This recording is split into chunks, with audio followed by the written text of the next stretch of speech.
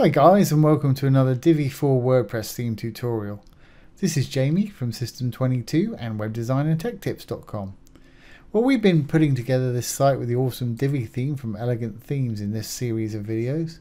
If you want to try the Divi theme out you can do so from my affiliate link below this video.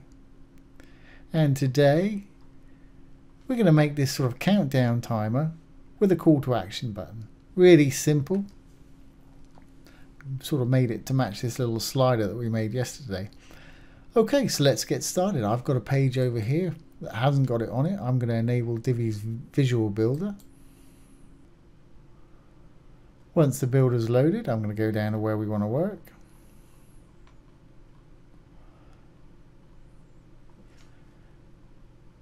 And I'm going to add a new module.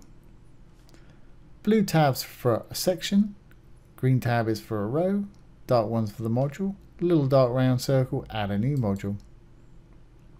By default, Divi comes with all these as standard, plus another 16 if you've got WooCommerce installed. And also, the Divi Builder can be used as a standalone module in any WordPress site. So let's go and get our countdown timer. There it is right there. Just left click. That's it. We're done. Very easy. And it's opened up and I can't remember what I said here. One month only. Title I'm going to put in.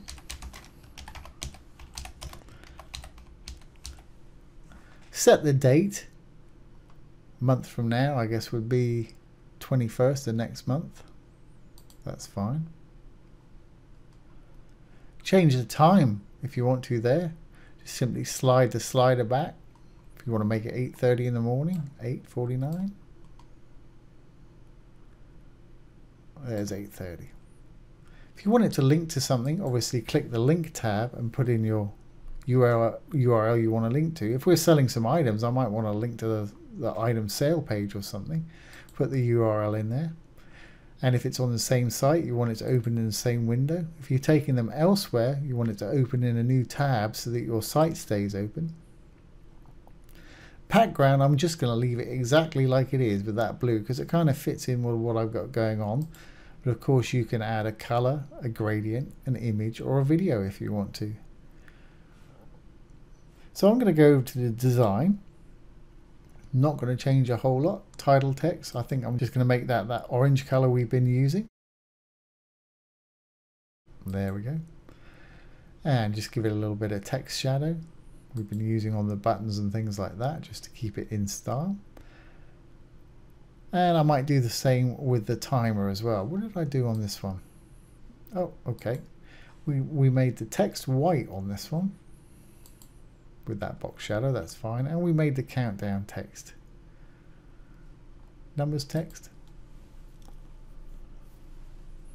There. And I'll give it that same little box shadow, just make it stand out. Now to keep it in trim with this one over here, I'm going to give it a little orange border there and a bit of box shadow. So we can close up this tab. Let's go down to border. If you want to make it rounded, you just simply type in a value here. If you've got this checked, it'll do all four at once. You can see that's made that rounded. I don't, so I'm going to just clear that. And you can do all four of the borders at once. You can do the top on its own, the right, the bottom, and the left. I want them all at once, so I'm going to pop this up to one. I'm going to select the orange color. And the only thing we need to do now is just add a little bit of box shadow underneath this one. There we go. Now we want to add a little call to action button underneath. We're saying something like we said over here, 50% yeah, that's right. This month, get gear is 50% off. In fact, I'll copy that, save me typing it out. Control C to copy. So let's add another module. We'll save what we've got here. We'll go in. We're going to add another module. Simply underneath the one that you've got there, you'll find the little button again. Simply left click on it. This time I'm going to add a call to action. Now I don't want a title in there really, I just want a, a line of text. So I'm going to select what they've got in here, the default sort of blurb. I'm just going to paste in that text I copied just now. There we go. Fantastic, as easy as that. Now all I need to do is add a call to action button. And you see underneath the title text, we're still on the content tab here. You'll see underneath the title text, we've got a, a button sort of place here. And I think I said get tech. You can put in whatever you want in your button there. But to make the button actually appear, you've got to add a link. Button link URL. And you can link the module as well if you want to. Like I was saying before, if you want to take them to, I'll just put a hashtag in there so the button will appear. There we are. If you want to take them to a sales page for your tech stuff or whatever it is, same window, just put the URL in there. If you want the actual module to take them somewhere else, or because the button will take them to the text stuff, if you want the module to take them somewhere else, put a link in there. Kind of handy. All right, so but the only thing I want to do here is style the button. So I'm going to go down. Everything else I'm going to leave there. I'm going to put the border and the box shadow on. So let's go down to button. Custom styles for button. Button text size, I'm going to leave that just like it is. Text color is fine as white. Button background, here we go. I'm going to put in that orange color. Now if you want to give it a hover state, just hover over the background button text and click the little arrow with your left mouse. You've got a desktop state, you've got a hover state. You can have a completely different color if you want to. There we go, that's going to look pretty awful when we do it, but I'm just demonstrating to you what you can do. Put that on back to desktop. Let's go on down. I want to make the border color the same. And I guess because I've got a hover state, I better do the same with the border cover and make the border green as well, or else it's going to look really weird. Uh, want to keep it on orange and on the hover we want to be green. There we go. Now when I hover over it you're going to see that little icon there. For me I don't particularly want that in there, you may. So I'm going to get rid of that. Just put that back to desktop so it goes orange again. If we keep on scrolling down, actually before we do that font, save us scrolling back up, I want to make our button sort of rounded or pill shape like this button right here. And to do that, I just bring the border radius up. You can do it with the slider. I'm going to just type in 50 pixels there. 50. It'll put the pixels in for you. There we go. So we've got that, that button.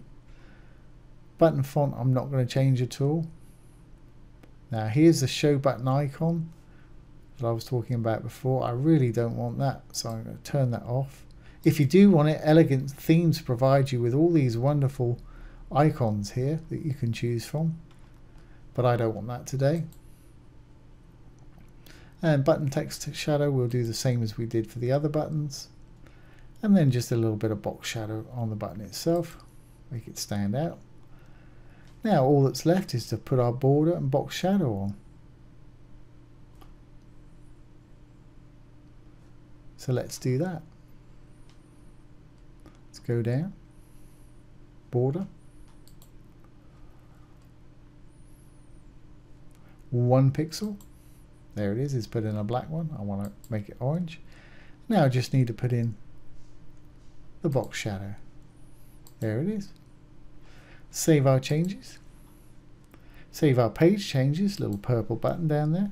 Hit the save button on the right hand side. Once it's saved, let's exit the Visual Builder and see what we've got. Go down to where we were working I didn't do, I didn't put any animation on these. We'll put a bit of animation on those. Let's do that. Let's re-enable the Visual Builder quickly. Go down to where we want to work.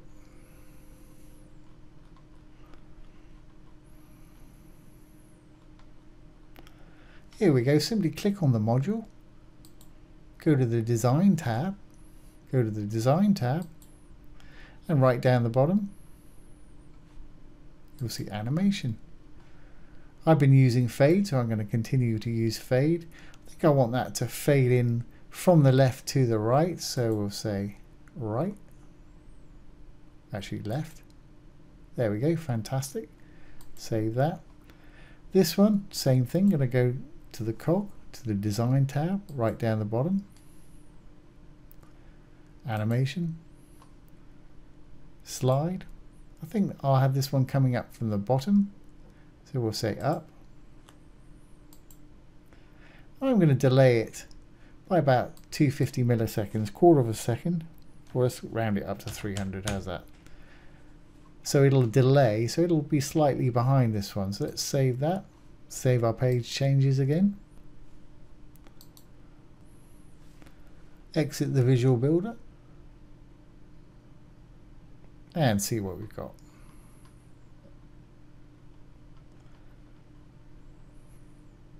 There we go, they're animating in that time.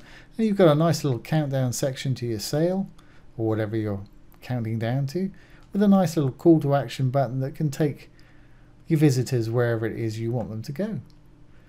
Really easy with a Divi theme. Like I say, if you want to take it for a test drive, you can do so from my affiliate link below the video.